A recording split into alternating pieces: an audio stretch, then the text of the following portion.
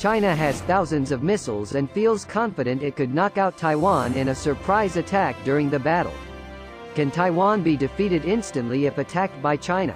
After weeks of hesitation, on July 15, 2020, the administration of United States President Donald Trump told the U.S. Congress they would allow the sale of 66 new F-16V warplanes produced to Taiwan for U.S. $8 billion. The move will clearly infuriate China, which regards Taiwan as a rebel province. Although the agreement has not yet been resolved technically, Taiwan will almost certainly approve the rare opportunity to purchase new fighter jets to strengthen the old fighter fleet. Theoretically, the Taiwan Air Force can be deployed to face nearly four or five times the number of Chinese warplanes if the country uses military force to attack Taiwan Island.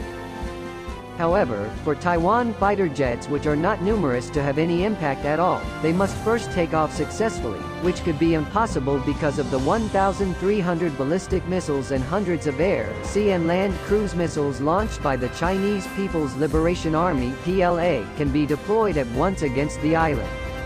Taiwan is very unfortunate located very close to a country that has invested heavily in a broader range of capabilities that would make it difficult for Taiwan to fly warplanes into combat. Taiwanese vessels in ports, important radars and communication facilities, to vital fuel and weapons warehouses are also vulnerable targets of Chinese attacks. Taiwan has a multi-layered air defense system that can be used to prevent various forms of attack.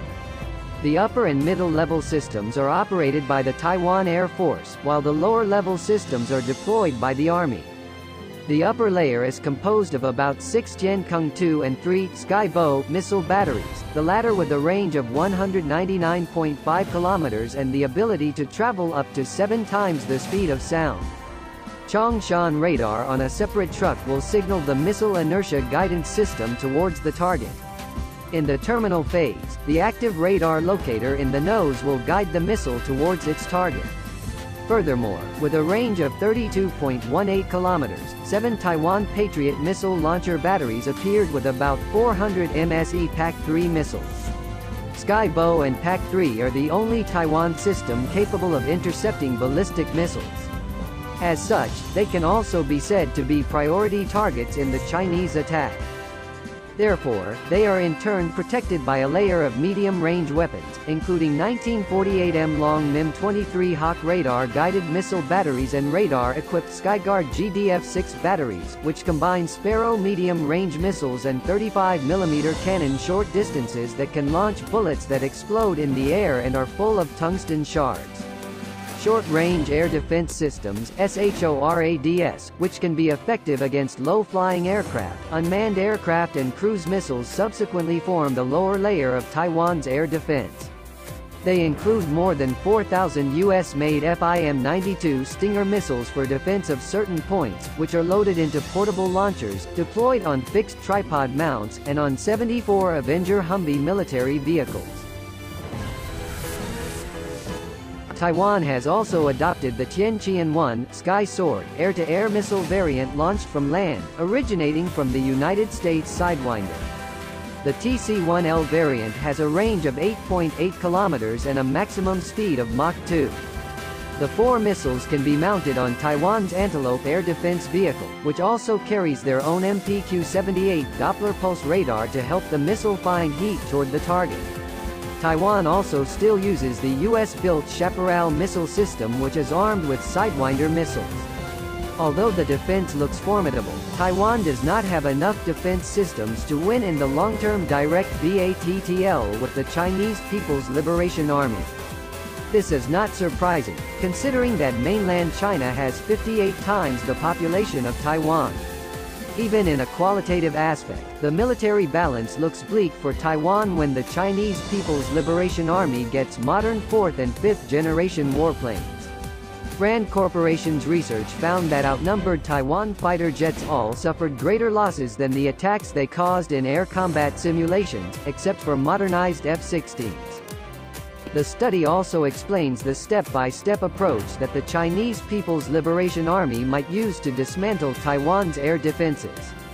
The first stage is a large series of missiles designed to weaken air defenses, aimed at bringing down air defense radars estimated to require between 124 and 370 missiles.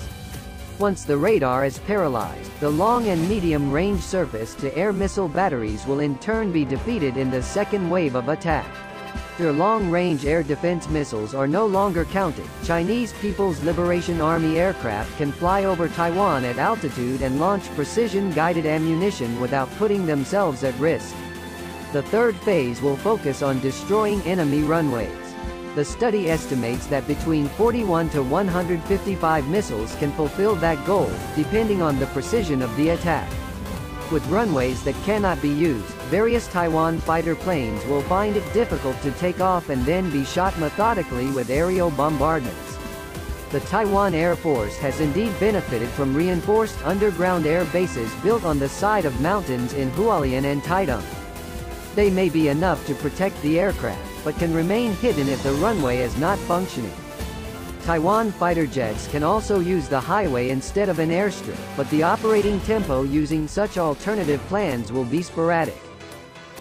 The RAND Corporation study recommends that Taiwan divert spending from manned warplanes to the deployment of 21 to over 40 air platoon equipped with medium-range AIM 120 Sidewinders short-range missiles and radar vehicles.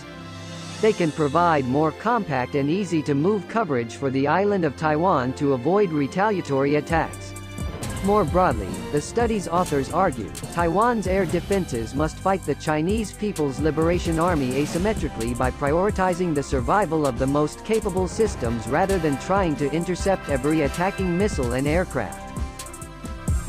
One strategy is to hide Taiwan's long-range surface-to-air missiles underground so it is difficult for the Chinese People's Liberation Army to find and destroy them.